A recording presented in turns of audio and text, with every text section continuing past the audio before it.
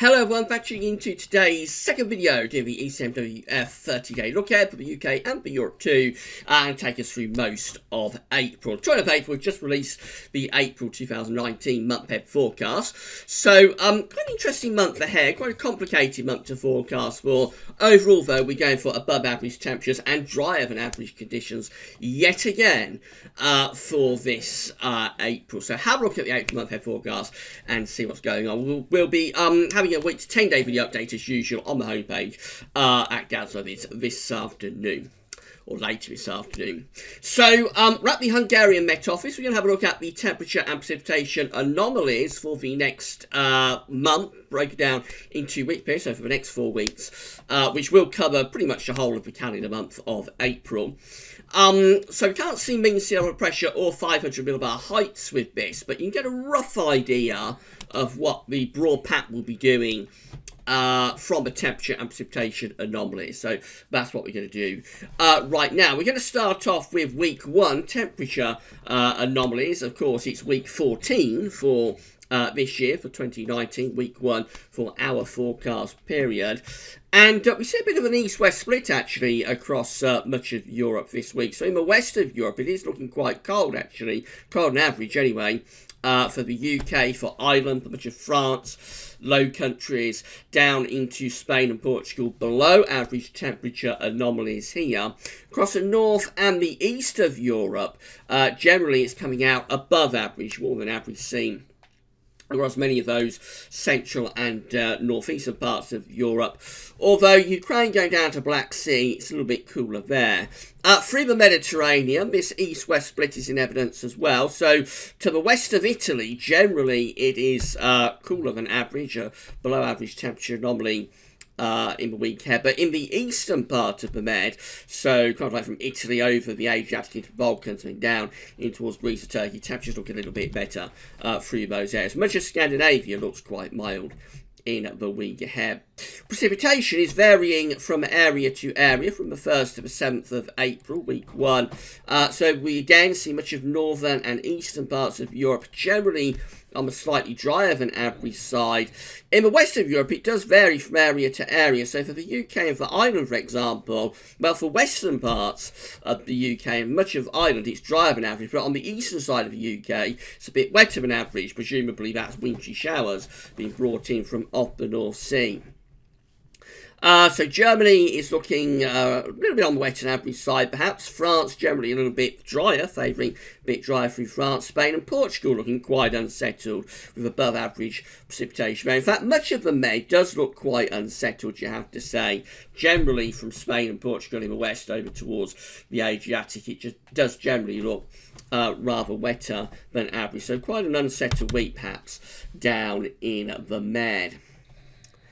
And then we move through to uh, week two, week 15 for the year, of course, is taking us from the 8th through to the 14th of April.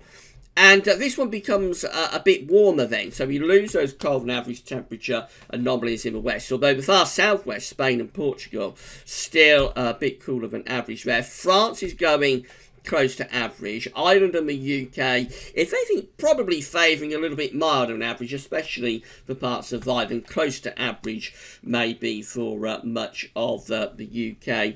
And then these northern, central, eastern parts of Europe generally average to a bit above average. It does look a warmer week, this, I think, this second week of April, particularly so in the west of Europe, where it's cold, of course, in week one. Down in the Medbo, quite a cool week, actually. Most of the Mediterranean uh, looking a little bit cooler than average from Spain and Portugal in the west over towards Greece and Turkey down there in that southeastern corner. And looks pretty dry too, so it appears high pressure is re-establishing itself through this second week of April. The southeastern corner of Mediterranean looks quite wet down there, so from southern Italy down towards Greece and Turkey, above average precipitation, probably from pretty big thunderstorms. But through most parts of uh, Europe, actually, it's looking rather dry, particularly so across uh, northern Scandinavia, so Norway, and then stretching out towards the north of the, the UK and down to Scotland. Looks pretty dry uh, there, significantly drive on average, so you would assume there's some sort of blocking area of high pressure up here. But actually, most parts of Europe look rather blocked off. It does look as though many places are a little bit on the dry of an average side. Uh, anyway, just in this far southwestern corner does it look a bit wetter, and particularly so down in the southeastern corner of the Mediterranean. Uh, that takes us through to week three, which is week 16 for the year, of course. This one is the 15th to the 21st of April. Signals starting to weaken as we go through to week three, as usual. So we're seeing a lot of white here. This is telling us that uh, the temperature anomaly is either just very close to average in most parts of Europe or more likely just that the signal is weakening a little bit. Northern parts of Scandinavia looking a bit colder than average up there, slightly below average temperature anomalies there.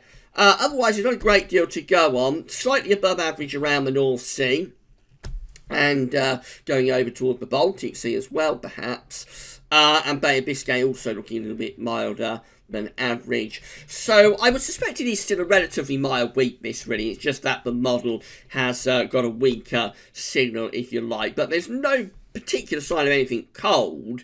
I mean, you would say it's average to slightly above average as opposed to being average to slightly below average through most parts of uh, Europe. But very, very weak signals there, and indeed quite weak signals for precipitation as well. This precipitation anomaly from the 15th to the 21st of April. So again, we do see back to the far northern part of uh, the uh, of Europe, so to the north of Scotland and uh, to the west of Scandinavia. Generally, it's a little bit drier than average up there, telling us that high pressure is still likely to be in control for this uh, northern part of the Atlantic Ocean. Otherwise, again, just a lot of white uh, in evidence, so really weak signals here. Maybe a suggestion of going a bit more unsettled, slightly above average precipitation down towards Spain and Portugal. Uh, there's a few tiny splotches of blue there across the UK and the Irish Sea, so maybe a little bit more unsettled uh, generally in the west of Europe. But I mean, these are really, really weak signals, so I wouldn't be uh, overly confident about that. And then finally, we're through to uh, week 17 for 2019, which is week 4 for our forecast period. This one is the 22nd to the 28th of April. It looks like it's turning warmer, although this is week four, and normally in week four the signal will weaken even further. Actually, the signal is strengthening here for week four, and it's going pretty warm across most parts of Europe as we go through to the final stages of April. Above average temperature anomalies, particularly through the central parts of Europe. So from France over towards the Black Sea, widely uh, sort of two to three, one to three degrees above average in this area.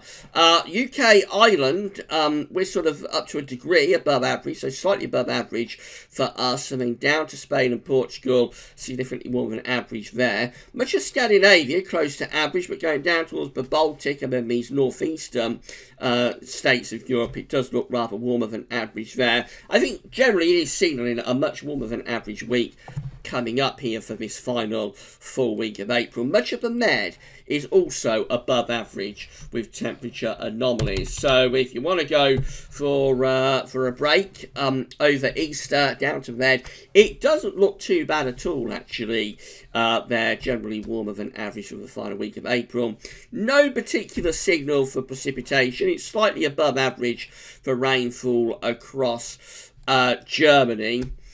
But uh, overall, again, really, really weak signals of precipitation, as you usually find with these uh, four weekly anomaly maps. By the time you get through to week four. They do tend to weaken a lot for precipitation.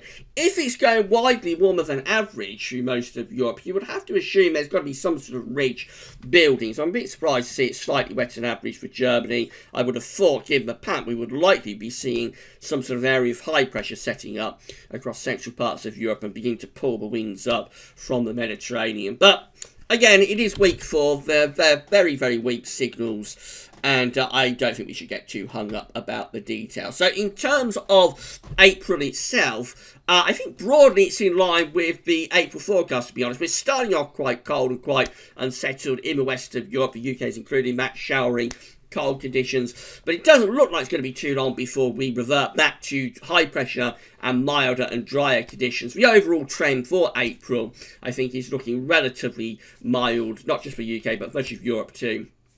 Relatively mild, maybe by the end of the month actually quite warm. And uh, I suspect there's quite a bit of dry weather in there as well, even though we are starting off a little bit cooler. Right, that's it for this week. We'll be back with the ECMWF 30 day look ahead next Tuesday. Come back this afternoon when we'll have your week to 10 day video update, including all of the usual features. That'll be on the homepage later on this afternoon. But that's all for now, and thanks for watching.